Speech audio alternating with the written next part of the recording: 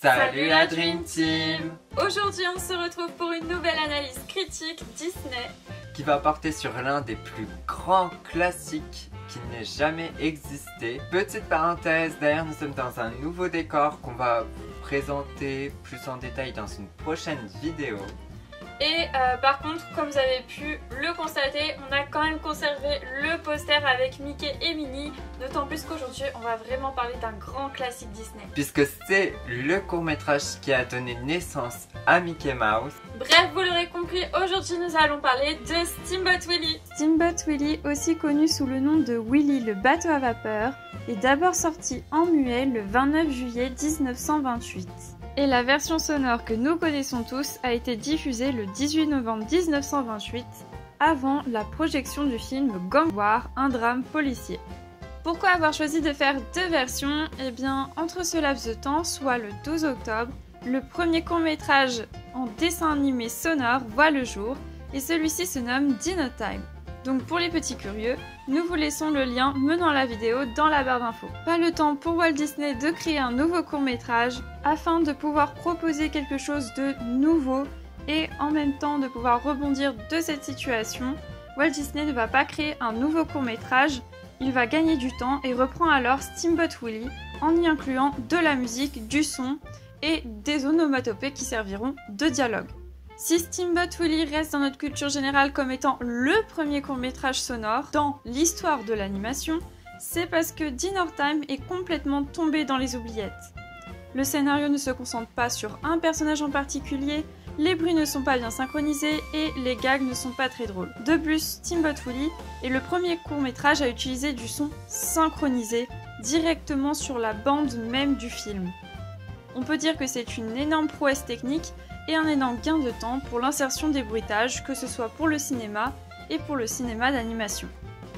Pour tous ceux qui ne connaissent pas ce court métrage, voici un petit résumé qui vous aidera à comprendre cette analyse critique de Steamboat Willie. Sur le bateau nommé Steamboat Willie, on y trouve Mickey, un jeune matelot dirigé par le capitaine patibulaire. Pendant leur traversée, Mickey va devoir s'arrêter à un port pour embarquer des animaux.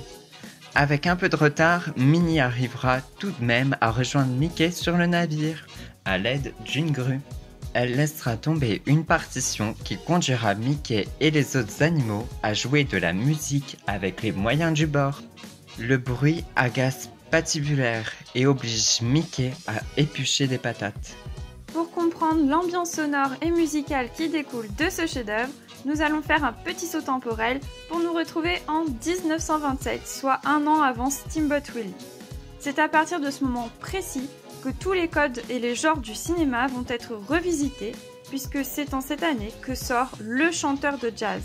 Et oui, c'est le premier film parlant de l'histoire du cinéma. Pour ceux qui ne connaissent pas, Jack est un chanteur et un musicien détesté par son père depuis qu'il l'a vu chanter dans un bar il va devoir reconquérir l'estime de son père et percer dans le milieu de la chanson. Et donc là déjà vous pouvez vous rendre compte qu'il y a un petit lien entre le chanteur de jazz et euh, Mickey dans Steamboat Willie. Le film en lui-même est composé d'une longue partie muette et c'est seulement au milieu du film où nous entendrons de la musique jouée par Jack suivie d'une scène dialoguée. C'est donc un personnage qui est capable de parler et de générer sa propre musique ses propres chansons. Pour l'histoire du cinéma, c'est la fin de l'orchestre symphonique qui accompagnait les films muets et qui était là uniquement pour donner du rythme à l'histoire. Pendant le cinéma muet, on voyait principalement le genre humoristique et surtout burlesque dans la plupart des films, puisque c'était quelque chose qui demandait une certaine performance physique et qui ne comptait uniquement sur le langage corporel. Alors qu'avec l'arrivée du dialogue, eh bien, difficile de faire rire les gens uniquement à travers des gags et des performances.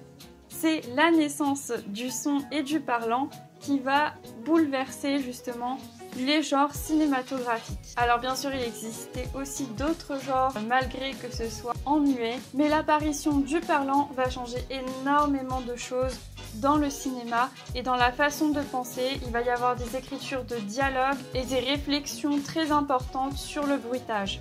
Et c'est dans l'aspect mise en scène que nous allons pouvoir vous expliquer en quoi nous pouvons faire un lien entre Mickey et Jack du chanteur de jazz.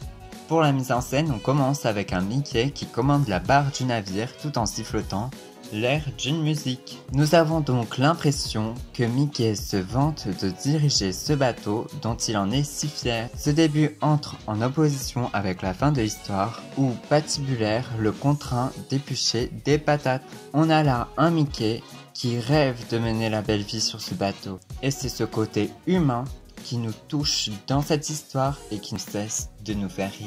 Autre point important dû à la mise en scène. C'est le fait que Mickey se serve de beaucoup d'objets pour jouer l'air de la partition de Minnie. Il arrive même à jouer du xylophone avec les dents d'une vache. Ce petit Mickey nous dit alors que dès à présent il va y avoir des dialogues, de la musique, mais surtout du bruitage dans les prochains courts-métrages.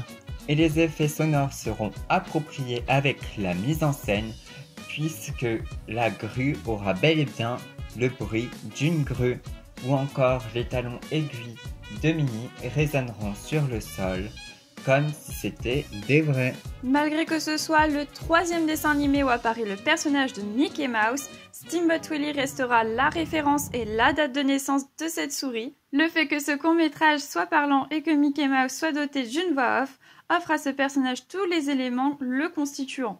Sa personnalité sera bien définie à partir justement de Steamboat Willie et c'est à ce moment-là qu'on pourra identifier Mickey Mouse de par sa personnalité et sa réaction face à l'environnement qui l'entoure. C'est donc un chef-d'œuvre qui ne cessera de nous fasciner à travers le temps. D'ailleurs, en 1994, il a été élu comme étant le 13e plus grand court-métrage d'animation par les membres de la profession de l'animation. La vidéo touche à sa fin. On espère qu'elle vous aura plu. N'hésitez pas à la liker et à vous abonner à notre chaîne YouTube. Ainsi qu'à nous suivre sur Instagram car on y poste toujours des photos en lien avec Disney et particulièrement Disneyland Paris puisqu'on va y retourner. Et donc nous allons bientôt sortir un vlog qui sera consacré exclusivement au festival Halloween. Et il faut savoir qu'on n'a jamais vraiment fait le festival d'Halloween puisque on n'y allait qu'une seule fois pendant la période d'Halloween. Mais vu qu'à l'époque, on n'y allait pas souvent, on s'est plus concentré sur les attractions que le festival en lui-même. Donc voilà, ça va être une grande première pour nous. La parade, euh, les décorations, le merchandising, tout ça, ben, on ne le connaît pas. Donc euh, vous allez vivre ça en même temps que nous. On espère que ça sera aussi bien que les années précédentes et qu'ils vont remettre les bonbons en partenariat avec Haribo. Ah oui, parce que quand on y était allé, il y a très très longtemps, les méchants se baladaient un petit peu de partout et euh, il y avait des cast members qui nous distribuaient des petits bonbons avec des petites nouveautés, par exemple avec les fraises tagada, elles étaient violettes. Enfin bref, c'était super, mais euh, comme on vous l'a dit, on n'a pas pu en profiter. Et donc là, on a pour objectif de faire des rencontres avec les personnages qui sont dans un déguisement Halloween ainsi que faire les événements du style des parades d'Halloween, le spectacle aussi avec Ursula. Si vraiment vous voulez voir des vlogs sur les attractions, nous vous invitons à revoir nos anciens vlogs ou à visionner nos prochains vlogs qui sortiront euh, début novembre. Et on se retrouve très vite pour de nouvelles aventures. Ciao